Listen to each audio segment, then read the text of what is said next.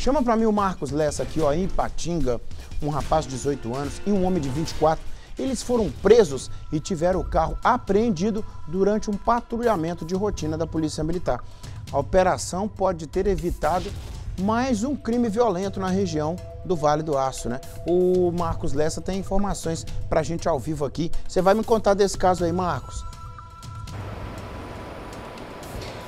O Nico, a Polícia Militar recebeu denúncia de que esses suspeitos de 18 e 24 anos estariam transitando por ruas aqui do município de Ipatinga. Esses suspeitos seriam do município de Governador Valadares.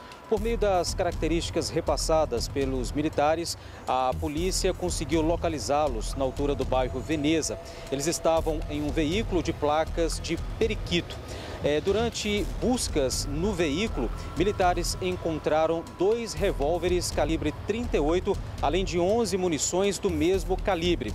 E, Nico, a suspeita da polícia é de que esses jovens de 18 e 24 anos, que seriam né, de Valadares, eles teriam vindo ao município de Patinga para vingar a chacina do bairro Planalto, ocorrida em 24 de maio.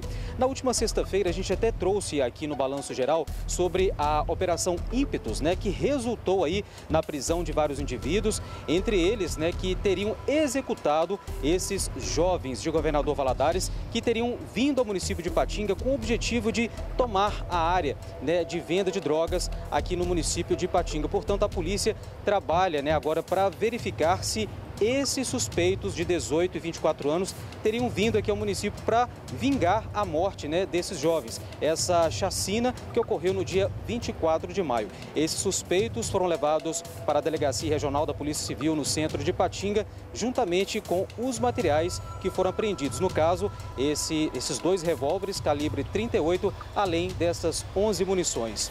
Nico, eu volto com você. É, e aí é o que a gente está falando, o trabalho preventivo, né? É, o trabalho ostensivo da polícia, que muitas vezes ele, ele entra na, na rota da prevenção, né?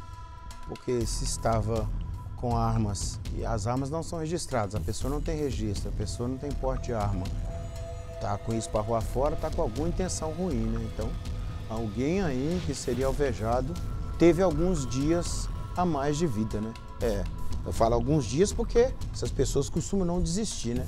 Quem dera se mudasse né, de vida, né? Aproveitar que eu fui preso, agora vou mudar de vida. Mas é muito difícil também. É. Obrigado, viu, Marcos? Obrigado, depois você volta aqui.